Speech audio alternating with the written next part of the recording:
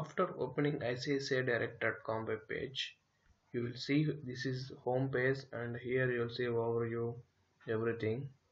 And uh, so in order to add custom alerts just go to customer service menu.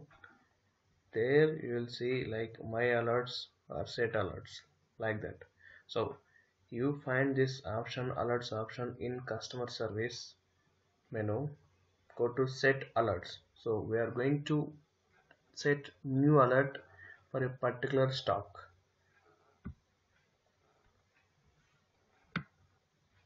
Okay.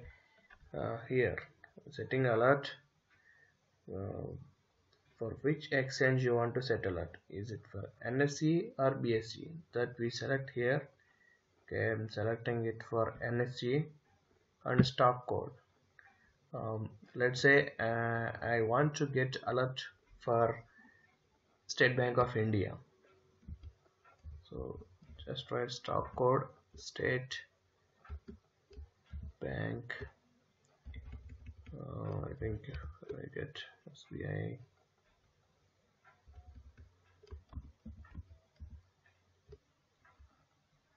yeah first one.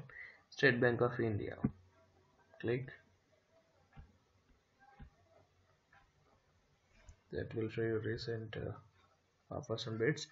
Okay so when do you want to get alert? Is it for 50 week high or 50 week low?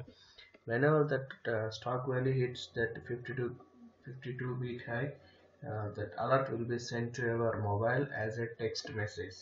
Let's say I want whenever the price goes down below 200 I want to buy that stock generally. It's my strategy. So so whenever State Bank of India price stock price goes down to 200 that will send a mail message a mail and message both. So just hit submit.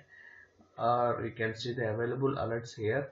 Generally ICICI Direct provides uh, 50 free messages free alerts.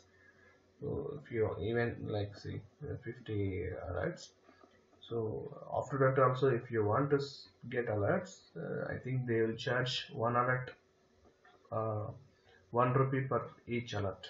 So let me click submit. Submit yes you have successfully submitted your request. See the request here. See. I just this today's date stock names just State Bank of India NSE and whenever it is less than trigger price is uh, less than 200 it will send a mail